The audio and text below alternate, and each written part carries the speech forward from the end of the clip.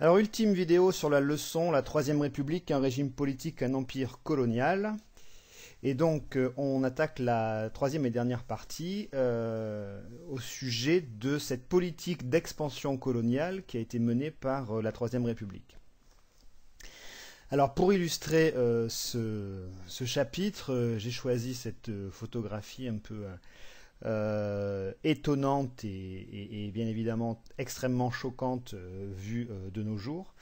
en fait, c'est une carte postale, c'est une, carte de vœux de l'année 1904, prise quelque part en, Afrique française, en tout cas dans une des colonies africaines de la France, et où on, voit ce qui pourrait être une blague, mais qui évidemment témoigne d'un regard porté sur les Africains qui est euh, absolument euh, euh, méprisant et, raciste et qui nous permet d'illustrer, je crois, cette idée fondamentale qui est que la, colonisation, c'est vraiment par définition une, attitude raciste. On peut la définir par l'idée que c'est une conquête faite par un pays qui, a la puissance, comme la France, le Royaume-Uni ou l'Allemagne, à cette époque. Donc conquête d'un territoire étranger dont les populations sont dominées et les ressources exploitées. Et euh, si on va un petit peu plus loin, ce qu'on appelle une colonie, donc par exemple on pourrait dire que Madagascar était une colonie française ou l'Indochine était une colonie française. La définition là, ça sera territoire dominé, administré et exploité par une puissance étrangère, en l'occurrence pour notre leçon la France le premier point, c'est sur la, constitution d'un empire colonial lui-même. Et euh, je voudrais commencer par euh, euh, tout l'argumentaire qui était mis en avant par les, hommes politiques qui défendaient la colonisation à l'époque pour justifier cette politique. Et là, on va retrouver un, personnage dont on a déjà parlé pour euh, un, sujet tout à fait différent qui était l'école. Ce personnage, c'est Jules Ferry. Jules Ferry était, euh, dans les années 1880, en tout cas au début, une espèce de premier ministre pour la France. C'était, euh, on appelait ça président du, Conseil, et c'était vraiment lui qui, qui a été le, grand organisateur et puis surtout celui qui a encouragé la politique de conquête coloniale relancée par la France dans les années 1880. Et donc à la Chambre des députés, en mars 85, il a tenu ces propos qui sont restés célèbres.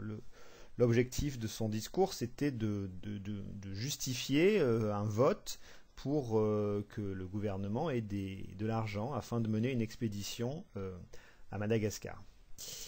Et donc Jules Ferry s'adressait ainsi à ses collègues députés Messieurs, il faut vous parler plus haut et plus vrai, il faut dire ouvertement qu'en effet, les races supérieures ont un droit vis-à-vis des races inférieures. Alors, effectivement, le mot est prononcé, il correspond à des idées que la plupart des, Français euh, avaient euh, à l'époque, euh, à savoir qu'on pouvait parler de race pour distinguer différents types d'êtres humains. C'est une idée qui est, on le sait maintenant, scientifiquement absolument fausse. Euh, mais voilà, il y a vraiment, euh, à la fin du 19e siècle, l'idée qu'il y a une race blanche, une race noire, euh, même une race jaune pour les Asiatiques.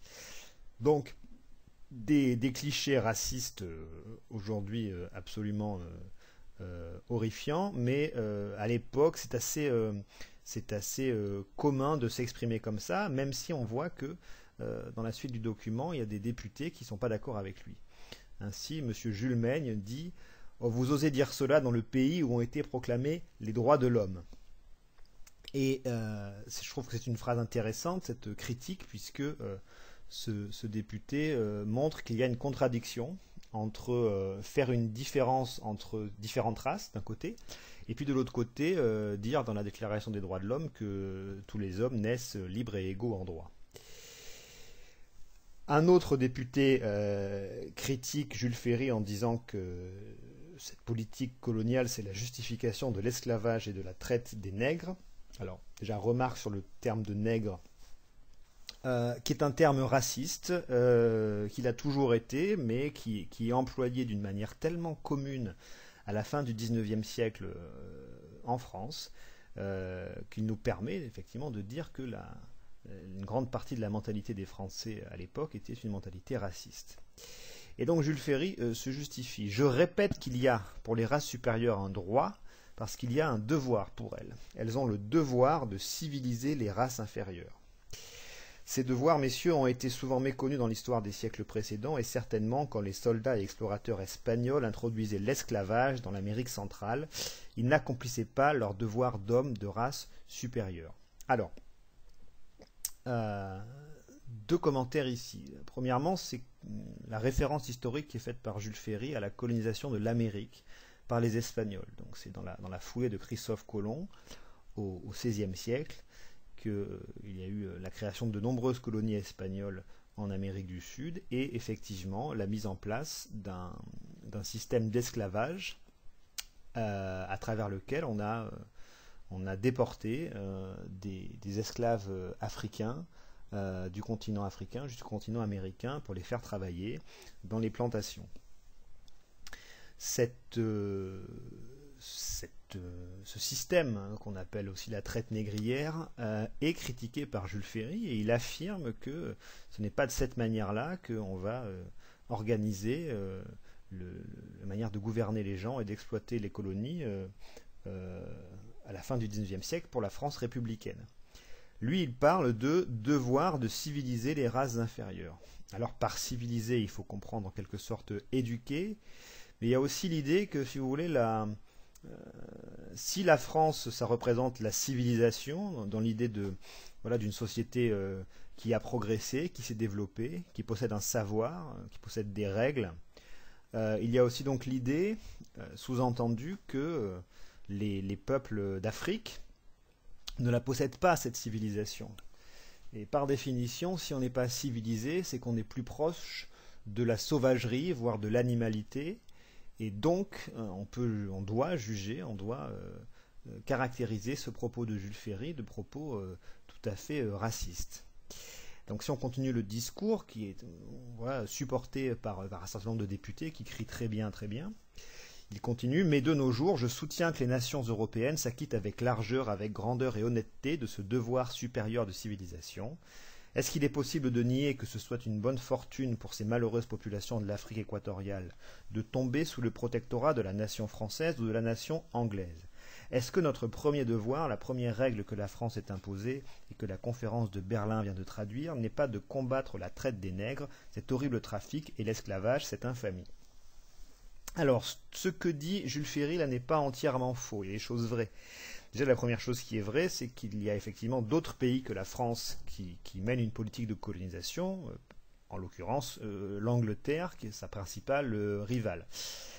Et ce phénomène très européen qu'est la colonisation a été organisé lors d'une conférence qui se tient la même année à Berlin, au cours de laquelle finalement les grandes puissances européennes se partagent l'Afrique comme si c'était un gâteau dans lequel on pouvait piocher euh, voilà, des, portions de territoire euh, à exploiter. Euh, ensuite, quand il parle de, de, mettre un terme à, l'esclavage et au trafic des, humains, ça n'est pas entièrement faux. il est vrai que l'esclavage existait avant les Européens en Afrique et, et qu'il n'a pas été permis par, par la France une fois qu'elle a colonisé l'Afrique. Cela dit, euh, on verra que la, manière de, faire travailler les sociétés africaines, euh, si elle n'était pas de l'esclavage, euh, correspondait en fait à un espèce de travail forcé, qui en gros signifie que les, gens n'étaient pas des considérés comme des objets, mais ils étaient, ils étaient rétribués pour leur travail, mais c'était imposé de force en permanence dans des conditions absolument horribles. Et donc la différence avec l'esclavage, il faut bien le dire, n'était pas très grande un type de document qui euh, résume bien aussi la mentalité euh, coloniale. C'est ce document qu'on peut qualifier de propagande, hein, qui avait été publié dans un journal qui s'appelait Le Petit Journal, euh, intitulé La France va pouvoir porter librement au Maroc la civilisation. Alors, analyse de, cette, image, on, voit une figure de Marianne donc, qui représente la République française et qui euh, accoste sur euh, le littoral nord-africain, donc au Maroc.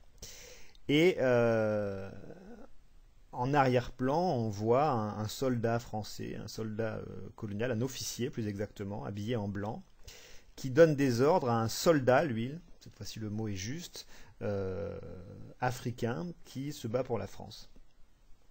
Ce qu'il y a au premier plan, c'est vraiment une image où on, voit une, République française qui arrive un petit peu comme une déesse, et euh, à laquelle euh, les populations rencontrées vouent un, véritable culte, ils se prosternent, ils s'agenouillent devant elle en signe de, respect total. Et évidemment, euh, si on critique intelligemment cette image, on voit que c'est une image de soumission hein, qui est montrée, que les, peuples, le peuple marocain se soumet à la, République, mais comme si c'était de son bon gré, comme si c'était totalement accepté, ce qui est faux. Euh, au tout premier plan, en bas de l'image, on peut euh, distinguer deux, détails, qui est que il y a deux Africains en train de feuilleter un livre, et ça, ça fait référence à l'idée que la France est là pour éduquer euh, les Africains. encore une fois, très grande distance avec ce qui se passe dans la réalité de toute façon, et on voit un autre, un autre personnage africain en train d'utiliser une charrue et donc, euh, sous-entendu, euh, c'est la France qui a amené cette technologie-là euh, au Maroc. Bon. dernière chose, Marianne, avec son air très fier là, porte sur elle un, objet, donc qui n'est pas un objet réel, qui s'appelle une corne d'abondance. Donc on voit des richesses en train de tomber de cette corne d'abondance, avec l'idée que économiquement, la richesse de la France va se propager au Maroc et permettre à ce territoire de se développer. On est à la limite, si on regarde le bras droit de Marianne qui est sur le point de toucher un, Africain, euh, de, sous-entendre que la, France peut guérir euh, euh, les maladies un petit peu à l'image d'un saint catholique du Moyen Âge dont on imaginait que le simple toucher pourrait permettre de, guérir les, malades. C'est aussi ce qu'on pensait des rois de France d'ailleurs à la même époque. Bref, donc un document extrêmement caricatural de, propagande qu'il est très facile aujourd'hui de, critiquer, mais qui à l'époque euh, était pris au premier degré par pas mal de gens qui, le voyaient. Il y a vraiment eu de la part du gouvernement républicain une volonté de faire, euh, voilà, de faire croire que la France faisait le bien dans ses colonies. Euh, et, j'ajouterai pour finir que le, titre La France va pouvoir porter librement au Maroc la civilisation. Si on le lit mal, on peut croire que les Marocains sont libres d'accueillir la France. Évidemment, c'est pas ça qui est dit, c'est juste que la, France, euh, en fait, a, gagné une espèce de, conflit contre l'Allemagne. L'Allemagne s'opposait à ce qu'elle aille au Maroc, et puis finalement, la France a réussi à s'imposer au Maroc.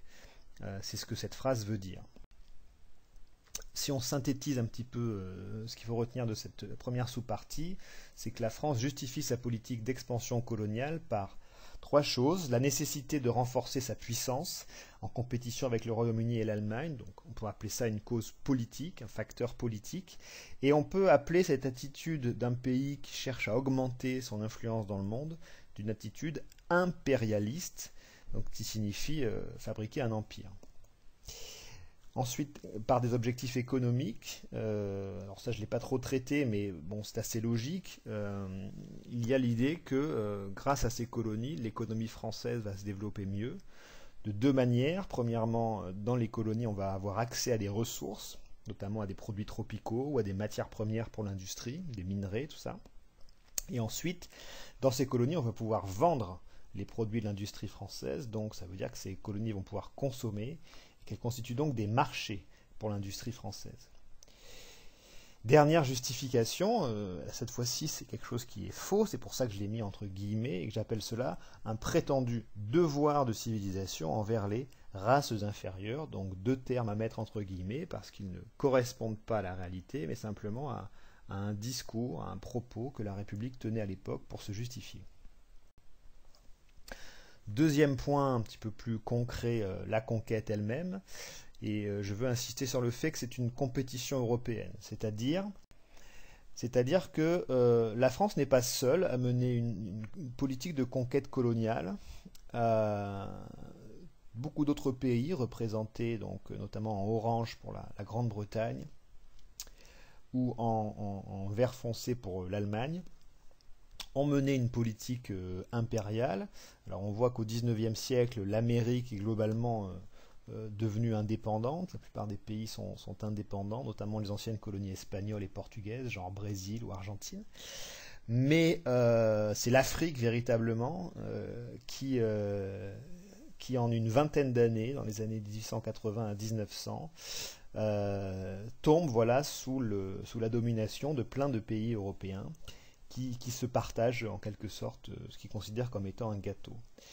À l'échelle mondiale, euh, le grand rival de la, France au niveau de la puissance coloniale, c'est euh, la Grande-Bretagne, qui a en fait de très loin le plus grand empire et le plus peuplé, avec beaucoup de colonies en Afrique et pratiquement une ligne continue de l'Égypte à l'Afrique du Sud, du nord au sud avec de grands pays ou, des peuplés par des Européens qui ont émigré, comme le Canada et l'Australie, et avec surtout euh, l'Empire des Indes, euh, qui est extrêmement peuplé déjà à l'époque et qui constitue vraiment euh, un atout immense pour, pour la puissance britannique. En ce qui concerne l'Empire français, alors petite remarque sur le terme empire déjà, on est bien dans un régime républicain, mais c'est vrai que l'attitude de la France par rapport à ses colonies euh, ne peut pas être jugé comme une attitude républicaine. Euh, concrètement, pour par exemple euh, l'Indochine que vous voyez en Asie de l'Est là,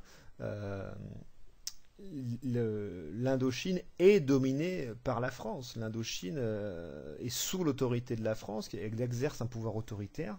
Et donc, on peut dire que la France est en quelque sorte l'empereur d'Indochine. D'où l'idée d'empire, où on a toujours dans l'idée d'empire la, domination de, territoire par, une puissance. Cet empire français, il est donc euh, surtout en Afrique, avec l'Algérie qui est une vieille colonie, euh, c'est la plus ancienne depuis 1830 en Afrique, mais aussi euh, toute l'Afrique occidentale, hein, AOF, Madagascar également, présente dans le continent américain avec la Guyane et les Antilles, présente dans le Pacifique avec la Polynésie, présente aussi en Asie de l'Est avec l'Indochine, des pays qui sont aujourd'hui le, Vietnam, le Laos et le Cambodge. Donc synthèse, la France accélère son expansion à la fin du XIXe siècle, surtout en Afrique, mais avec quelques colonies sur chaque continent, par exemple l'Indochine en Asie de l'Est. Puis quelque chose que je n'ai pas détaillé mais qui est très très clair, c'est que la conquête s'est faite par la violence, grâce à la puissance militaire de la France. Finalement, ce qui fait la grande différence à cette époque-là, c'est que les pays européens ils sont industrialisés et donc ils possèdent une puissance de feu euh, militaire qui est euh, à peu près invincible par euh, les, les, bah, sociétés du, reste du monde, moins avancées technologiquement.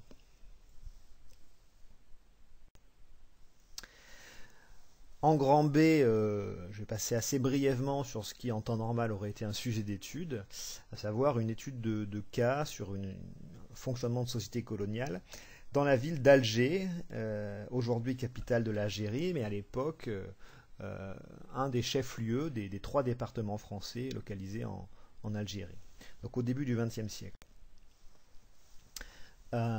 cette photographie du début du XXe siècle est assez intéressante puisqu'elle montre beaucoup d'éléments pertinents.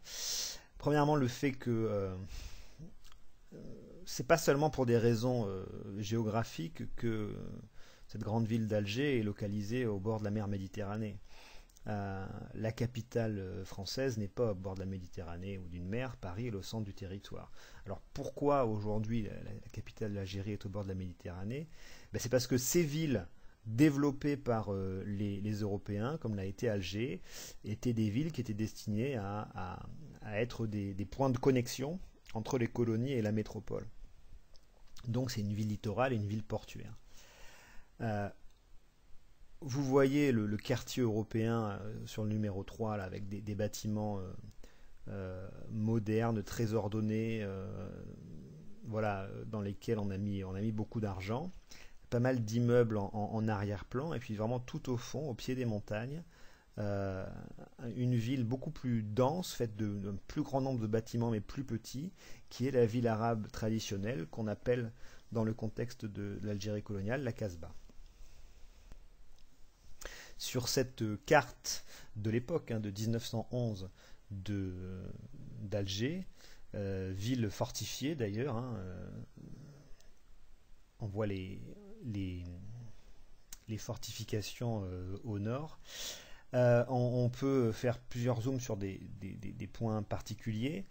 Donc ici, une place, la place du gouvernement, sur laquelle, euh, alors c'est un dessin qu'on voit ici, euh, on, a, une grande mosquée qui date d'avant la présence française, hein, euh, la mosquée de Jema el Djedji, ou mosquée de la pêcherie, comme l'appellent les, les, Français, et à proximité de ce lieu donc musulman, des, des, lieux qui symbolisent la puissance française, vous avez plusieurs statues euh, enfin, notamment ici une statue euh, du duc d'Orléans, c'est-à-dire euh, celui qui était le chef d'État quand, l'Algérie a été colonisée en 1830, ou en D, un, bâtiment qui, est, aujourd'hui la chambre, qui était à l'époque la chambre de commerce, et qui donc est un, bâtiment colonial français qui marque la puissance française.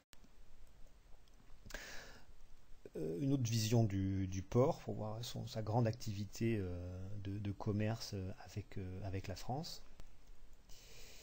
Et puis euh, au nord, donc la, la Casbah dont j'ai parlé tout à l'heure, qui, euh, qui, qui, est un, type d'urbanisme beaucoup plus euh, fait beaucoup plus de ruelles étroites et de, et de, et de maisons très densément regroupées, ce qui est quelque chose d'assez logique dans un climat chaud méditerranéen, parce que ça, ça permet d'avoir beaucoup d'ombre, et qui est cependant à l'époque euh, beaucoup, enfin, où les conditions de vie sont bien plus mauvaises que dans la ville dite euh, européenne, euh,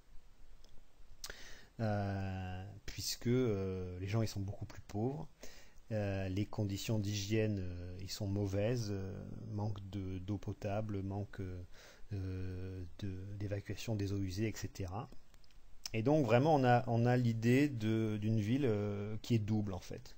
deux, villes en une, la ville musulmane, la ville européenne, euh, qui euh, sont, sont, marquées par un très fort contraste, qui, ne communiquent pas énormément euh, l'une avec l'autre. On peut donc parler d'une situation de ségrégation. Hein. C'est ségrégation, c'est quand il y a une vraie séparation entre plusieurs communautés dans un, dans un espace finalement assez, assez proche. Et les, deux communautés, la communauté musulmane et la communauté européenne, je dis européenne parce que, en fait, beaucoup de ces blancs d'Algérie euh, qui sont arrivés par immigration au cours du 19e siècle n'étaient pas que français, il y avait aussi beaucoup d'espagnols, d'italiens. qui étaient donc caractérisés par le fait qu'eux n'étaient pas musulmans mais, chrétiens et donc euh, c'est la raison pour laquelle euh, c'est la, notion de, religion musulmane qui permet de distinguer euh, les, Algériens des, Français. L'autre terme utilisé pour désigner les, Algériens, c'est le terme d'indigène, qui est un terme qui est devenu assez négatif. on, y sent une connotation raciste aujourd'hui à, l'origine, le terme indigène n'est pas en soi raciste, il veut simplement dire les, gens euh, nés ici, quoi, les gens, les gens du coin, on pourrait dire aussi les autochtones. N'empêche que la France fait du terme indigène un terme qui veut dire, euh, inférieur. Euh, très légalement, on parle du code de l'indigénat, et dans ce texte euh, qui, est un texte assez critique de la situation. Il est dit c'est un système de répressif exorbitant du droit commun qui, sous couleur de discipline, frappe l'indigène dans sa liberté, dans sa fortune, qui organise la dépossession continue de leurs terres, dans leurs droits les plus essentiels. Euh, ce texte, que je vous laisserai lire si vous faites euh, pause, explique à quel point les, les, indigènes, donc les musulmans, n'ont absolument pas les mêmes droits que les Européens et que dans donc une situation de, vraie discrimination. Voilà le terme. La discrimination, c'est quand plusieurs communautés n'ont pas euh, les mêmes droits. Un dernier document euh, qui est extrêmement euh, sévère hein, pour, pour la France, la scolarisation. Donc souvenez-vous de ce que disait Jules Ferry, si la France colonise, c'est pour apporter la civilisation. Euh, déjà en soi, euh, l'idée est contestable, mais en plus, dans la réalité, ça n'était absolument pas le cas, puisque en fait, on se moque euh, très largement de la scolarisation des, Algériens. Si vous regardez le, taux de scolarisation de la population européenne en Algérie est de 80%, donc il y a 80% des enfants européens en Algérie qui sont scolarisés, c'est déjà pas énorme, c'est déjà moins qu'en France. Mais alors le taux de scolarisation des populations dites indigènes est de moins de 4%.